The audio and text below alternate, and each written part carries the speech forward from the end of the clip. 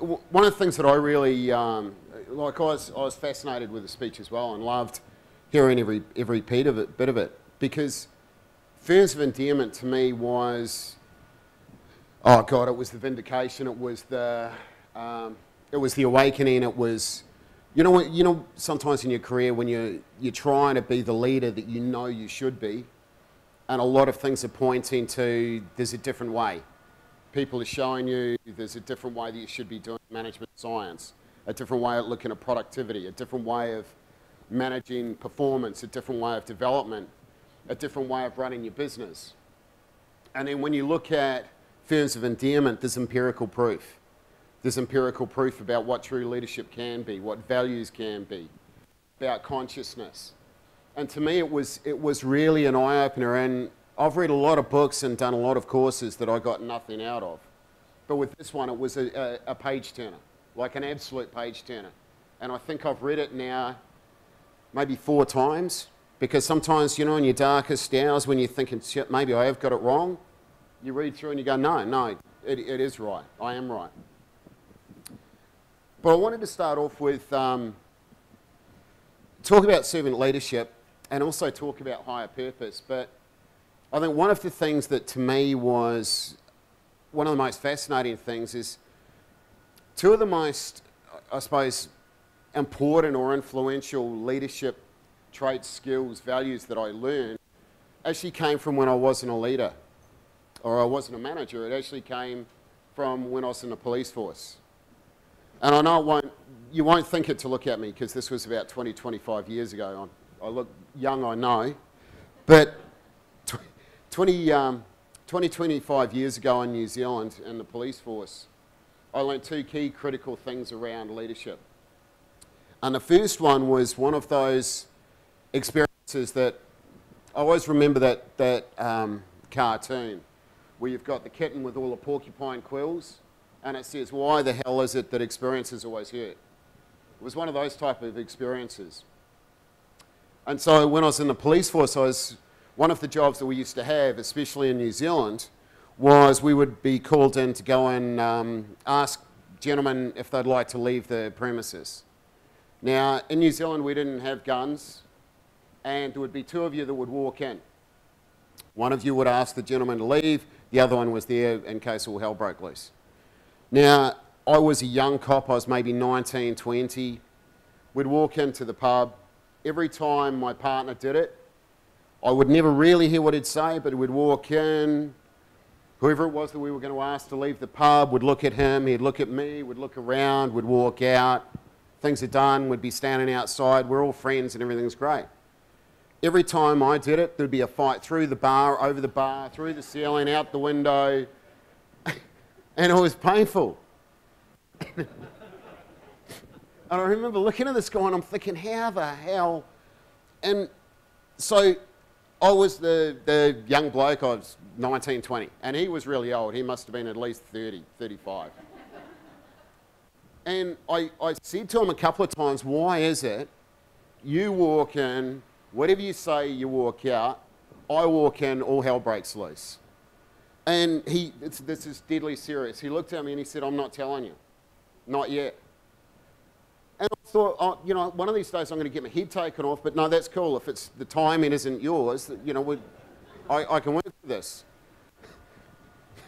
And this went on for months. But then we got to a point where he actually said, no, I, I, yeah, do you know what it is? And I said, no, I honestly have no idea. Because he wasn't a big guy, he didn't like do that. It was, how come they pick on me, they don't pick on you? You know, we're going and we're going to be doing this. And he looked at me and he said, you're an idiot. Similar to some of the advice that you got. And he said, you know, where's the respect? Where's the honourable way? And it hit me like, like a thunderbolt. It was the fact that when he walked in, what I didn't realise was he was giving that person an honourable way. He would go in, they'd have a quiet word, how about we leave, you know, we both walk out, you know, and the rest of the rhetoric. Whereas with me, I was going in thinking, right, you're coming out, chest puffed up, come on, let's do this thing. I backed him into a corner. No respect, no honourable way out. and the second started thinking about respect, the th- second I started thinking about giving somebody an honourable way, changed the way that I was as a cop from, from that day forward. That's one that I think has stayed with me right throughout my career, and it's one that I want to come back to in terms of servant leadership. The other one is about higher purpose.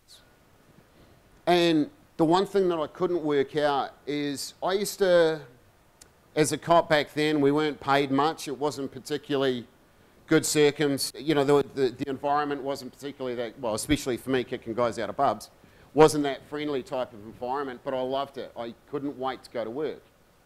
And in, in roles the past that, I couldn't understand why I couldn't get the same connection. And it was about doing something that matters, doing something that is going to help someone. It's about that higher purpose. It's about doing something that at the end of the day, you can walk away and go, you know what, I did that. Um, so then if you fast forward, I did, a, I did a few different roles, so paramilitary. So my view on leadership then was I wore a uniform, I saluted, I got bawled out, I put my hands down like that, saluted, bawled out, hands down like that, and you know the old fellas showed you what to do. Then I was, uh, I did some time as a bodyguard, I was a commercial diver, did a few other things. Then got into leadership. And that was when I joined financial services. Now, that was maybe 20, 25 years ago, so I've spent a lot of time in financial services. And one of the, one of the things that I really struggled with when I joined was I thought that in the police force I'd seen some bureaucracy and I'd seen some autocracy. And I thought that when I was, um, you know, knocking around with commercial divers and when I was knocking around in terms of bodyguard, that I'd, you know, seen some guys that want to try and, you know, act pretty tough. Again, I hadn't seen anything until I joined financial services. And the reason, the reason I say that is it may resonate with some people here. I'm not sure what industry or which role you've had. But when I joined out, for the first long while, I didn't think I fitted the suit. Because what I saw in terms of performance management was somebody should be leaving in tears. Somebody should be getting strips ripped off them. Somebody should be getting angry. Somebody should be caught, hauling someone over the coals. In terms of position. You know, it was where you sat, it was how you sat, it was what was going through. How many times do you knock on the door before you walk through? Do you do a bow or a curtsy if it's a senior exec, whatever? And I think one of the challenges that I had going through was you know that that's wrong. You know that what you're trying to do about respect, about servant leadership, about actually being there for your team, putting them before yourself. So as I was going through a lot of this and, and challenged, and I think I went through a whole lot of different emotions about from a career point of view, then, like I say, it was only a few years ago I left, read Firms of Endearment, and it was this huge vindication. You know, it was empirical. And up until then, you know, I'd found other people that led in a similar vein, they spoke a similar sort of language, but they were very few and far between. I mean, it's changed, I think, over the years, and you're starting to see, you know, as, as endearment talks to, you know, the age of transcendence, you know, going from material things to, the, to those of meaning. Now, for me, it's a journey that I, I just get so fired up and so passionate about. Because the more that we can, the, the more that we, as a, as a it, I think leaders should be a profession, but the more as, as our vocation or as what we do, we move to the conscious realms and we go into consciousness, the greater returns it's going to be for everyone in terms of society, community, etc. Um, and I wanted, wanted to just give a couple of really quick um, examples. Uh, one was uh, almost a direct take from uh, both Mark and, and listening this morning about when you look at somebody as being a whole person, I don't know if uh, people here are from large organisations or small organisations, but what you find when you work for large organisations, and this is over the years, a lot of things become tick a box routine. Have you had a development discussion? Yes, I have. Well, how do you know that? Well, I've ticked these three box So what did you do? Well, I went through how good are you at your job? I need you to be better, so I ticked the box. And it, it does, and then it becomes this, and before you know it, you're on the same damn treadmill because you're asking those who report to you, did you tick your box? How many boxes are ticked? You know, have you developed people? Is there, you know, appropriate boxes being ticked? You know, do we do that right the way through? You go back, do, you know, are you looking about the whole person? Are you sitting with them saying, where do you want to be? What do you want to be? You know, if, it may not be working with me, but what can I do to help to develop you so that you can be fulfilled in your role? How can I help to develop you so that you can go and do more, greater, better things? How can I develop you so that you become better than me and I can report to you ultimately? Um, and it's the exact same as performance management. And if you think how many people here, if you go back over your career, have seen those horror stories of performance management sessions. I mean, I've witnessed and I have seen and I have heard people talk about them, and they're just horrific. You know, the, the, you know somebody's got to be crying, somebody's got to be tough, somebody's got to be doing whatever. And I think, again, we've been brought along a road where we're so worried about the legal implications, we're so worried about how do you address to make sure you've got the right boxes ticked, how do you know that you've made sure you've followed the right criteria, routine, the productivity is where it should be, etc., etc., that we depersonalise and we forget it's the whole person. And that's where I, I've unfortunately parted company with a lot of different people over 25 years. There's not one that I couldn't have a coffee or a beer with because there's not one that's ever been the wrong person. It's only ever been the wrong, the wrong match. You know, and if you sit with somebody and say, oh, I don't understand, help me with, with through me on this, I've never ever found it where it wasn't that somebody's doing a job they don't want to be doing. They're not passionate about it. They haven't found that meaning. They haven't found that reason to be with you. And what I've found is if you think and just take those two things, just in terms of when you develop someone, if you develop them as the whole and develop what they want to be, not what you need them to be for you, and when you performance manage someone, there's always immediately the negative connotation. But when you're doing it, are you actually talking about, you know, what's the fit like? Are you enjoying it? Are you fulfilled? Is there satisfaction? Are you engaged? Is this something you want to be doing? How do I change that? How can I change the role, change the approach? Because God, you know, as Mark said, if, if everybody fulfilled and everybody was engaged, God, what couldn't you do? And I think from where I sit, um, in, in my career today, the one thing that I wanted to, to get across is that going through this, I mean, I, I, I giggled when we were talking about, uh, Mark was talking about some of the old style leadership. I was here and in a role when they were talking about time and motion studies. Does anybody remember those? You had an index of how long does it take to lift a coffee cup from the desk to your mouth. I've read it. You know, it was the draconian thing where they used to say productivity, uh, dollars equaled productivity. The way to get it done is eradicate those movements. You know, how long does it take to do a hip joint to the, you know, how far we've come and how good it is. But it's, as I went through all of that, the one thing is, you know, you've got to, my, my value would have been integrity you've got to be true to you. You've got to be true to the leader you are. You've got to be true to your own values. And sometimes it's despite what you'll be told, the influences that'll come down on you, the rationale that'll come across, whether it be down, sideways, upwards, analysts, whatever. You've got to be true to yourself. I once got asked if I could put a definition to what integrity is. And my, the closest I can come to is, you know what? It's what happens when nobody would ever know. You know, it's not the stuff you do when people can see. It's the stuff that you do where you could do whatever and no one will ever know. You do the right thing, then that's integrity. Um, and I think the last, the last point that I wanted to talk to was the ability to be able to develop yourself.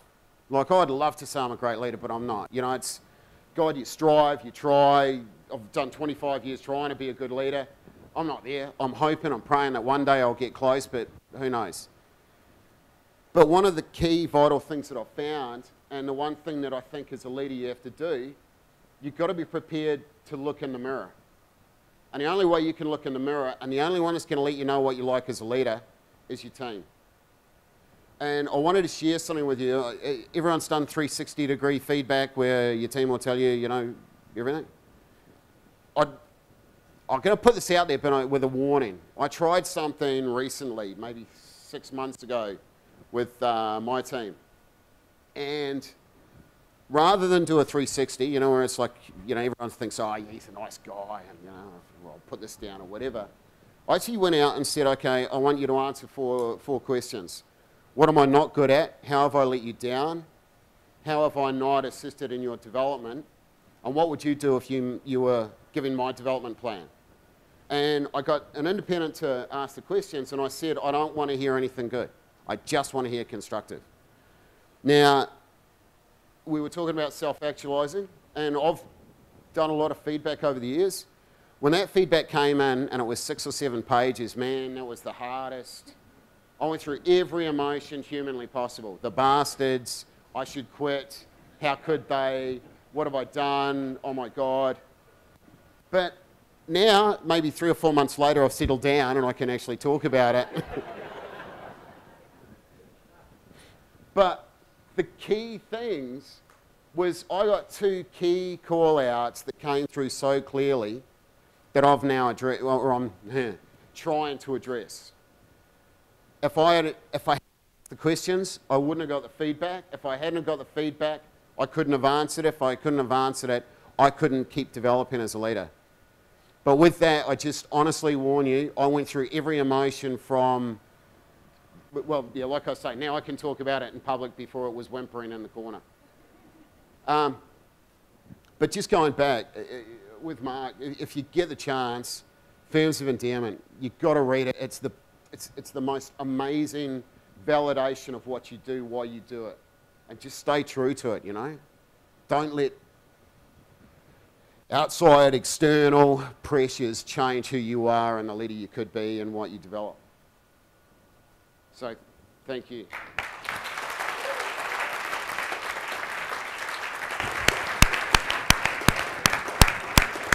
That was awesome. Awesome. thank you so much. Questions? There we go. Gary? Thanks for revealing your vulnerability as your strength. The, the, last points you made really interested me. In what you learned in that 360 evaluation, what were some of the insights that you came up with in digging deep into all those emotions? Whoa, yeah, okay. if I start sobbing, please go with me on this one. Um, I'll be really, really honest because, I mean, that's what we're talking about. One of the things that came through was I always talk integrity, uh, and ex excuse the language, but I always say across uh, our company, we will not prostitute. And by that I mean we won't sell out, we won't trade, we won't go past or beyond anything. And so what happens is by the virtue of the fact that I'm always talking about integrity and I have my own value system and I won't do this and I won't do that, what I hadn't realised is sometimes if you're so strong in terms of my ideals, my values are right, therefore everybody else's is wrong, so therefore, if you come anywhere near me and you're not 100% aligned to what I'm saying, then I'll discount you or you don't exist on my planet or it's, it's almost that what I've done by trying to live my life and, and do my career with integrity, I've actually pushed people away that may, their values may, we may be aligned, but you would never know because I put this ironclad, I will not cross this line. But what's coming back is over the years, maybe lines change, maybe things move, maybe you should be prepared to discuss, to talk through. And it was hard, you know, it's a really hard thing to come to terms with. But that, that was just one. But it took a long time because my immediate reaction was, no, I won't sell it, I'm not looking at it, that's not going to happen. But then it's coming back and saying, well, you know, I've got to go back, I've got to challenge myself. Down there, Chelsea. Hi, Phil. Oops. Mark here. Um, you talk about integrity. How do you balance that with um, difficult corporate messages? So we hear a lot about productivity, cost cutting, and things like that, which is not easy always to have integrity when you're delivering that message when it could mean people's jobs within your own team. Yeah, that's. Mark, do you want to take? no, I th- look, I, that, that's such a good question, and I think, you know, we all have to go through situations where it's almost the corporate lie. You can go and talk to a team, and you know that at some point that team may be made redundant because of a merger and acquisition, uh, uh, whatever for whatever reason. I always go. There are two things that I do. I always go as far as humanly possible with what I know that I can be comfortable to live with, to, to talk to. And if it steps outside of that, then I've got a challenge. I, I can't, um, yeah, I, I can't live with myself if I am to say something that is a direct lie. So it's a matter of if it's, um, if it is that example, so somebody's going to be made redundant, how do you not tell them? I go back on experience. Over 25 years, the amount of times I've gone and said to somebody, sorry, your team's gone, and then the next week we get bought. Somebody else buys it. It's never final until it's final, which is what I always go through in terms of my own mind. I've been so wrong so many times by calling something before it happened. But I personally, there is a line that I'll never cross, and if it means changing roles, changing jobs, then that's what it would be but it's never easy. I struggle with that a thousand percent. And I think sometimes we work out ways of, of saying what needs to be said without breaching a, a, a confidentiality. Thanks, Mark. Uh, Phil. Chelsea? Hi, Phil. Chelsea Ford. That was a very humbling and courageous act you took with asking your team for feedback how, you know, you weren't in a self help group whilst you did it. and you alluded to some feelings coming up. I just would like to hear some real practical ways you you dealt with all that and how you went back to being their leader because I imagine that happened probably from one day to the next. Yeah, yeah. Um, yeah, it was it was really interesting actually. Like my team helped me through it a lot. And um, because, it, it, to be completely honest, my team didn't like me doing it. They were forced to say things they didn't really want to go to that end. So, a lot of what I found was, was I got so much respect for my team. They, they came to me saying, you know, you've got to put things in context and this is why you said whatever. And I'm trying not to let it show. But you know, I've been accused of wearing my heart on my sleeve, and I think sometimes you can't help but if you're depressed or you've been let down, you, you look at. Um, but a lot of, I think, also stepping back and going, okay, so I asked this for a reason. What was the reason I asked for? I didn't ask anyone to tell me what, what do you think I well or what do you think I, you know, could really exploit. I said, what don't I do well?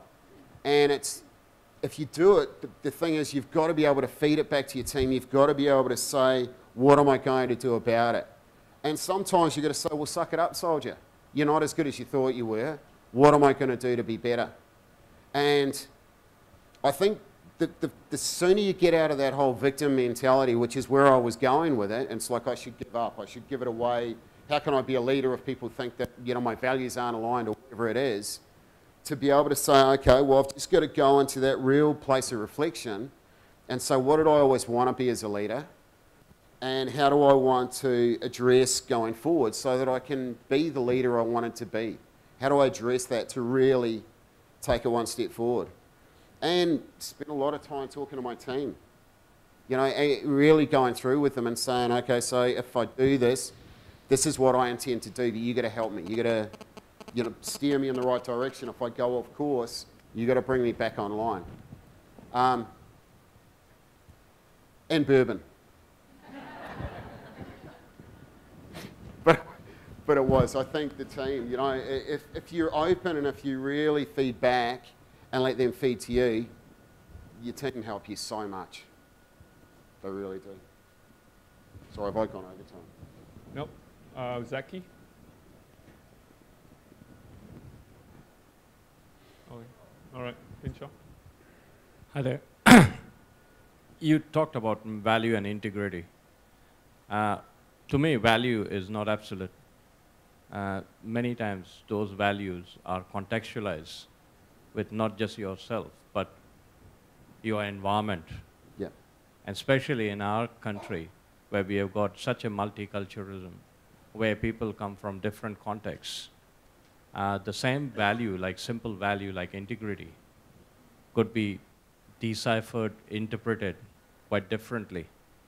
How do you manage in a workforce which is so diverse in their cultural background, Yeah. where you try to bring a unified one definition of a particular value? Yeah. Um, I, again, the, the, the team that I work with is, is amazing. And it's making sure you play to all of our strengths. And one of the things that we've always said, whenever we get together and we have a meeting, it's not, it's not your right to dissent, it's your duty. So just because I say it doesn't mean it's right. Hell, it's probably, you know, if everybody agrees, you may not have heard me properly. It's, it's got to be challenged. You've got to be able to fight through those, those positions. And if you look at the collective expertise, if you look at the collective value, if you look at the collective experience that you've got in your own leadership team, th- there is just a wealth. There is nothing you can't achieve as that team. But it means each one of you has to be prepared to absolutely challenge. And so when we look for it, it's always coming from that whole point of integrity. So if we, if we want to bring values together, if we want to do and make sure that we've got that unity right the way across where there is full engagement and full integration, then it's got to be the whole team prepared to challenge and, and do what it takes to, to maintain it. Um, but again, it's always that challenge. It's always that challenge. Um, but yeah, it's, it's, the team. It's, it's the team and it's asking those within the teams. You know, it's, Saying, it's, you know, as Mark alluded to before, if you look at uh, a book I love, First Break All the Rules, which is done by Gallup, you know, a lot of what they talk to is, you know, the, di- the difference between satisfaction and fulfillment. You know, there, there are things which are hygiene factors, so that if you don't have it, you'll be dissatisfied. If you have a lot of- of it, it doesn't mean you'll be satis- uh, satisfied. It just means you won't be dissatisfied. So when you go for the fulfillment, there should be uh, in there around respect. Do I feel like I've been developed? Do I feel like I've been respected? Does my voice matter? Does my voice count? And making sure you've got that right the way across. Um, I mean, have we got it right? No, I don't think so. God, we're working at it. And it's, um, you know, again, it's trying to get it, get it to where it should be. That's it. Thanks a lot. Thank you.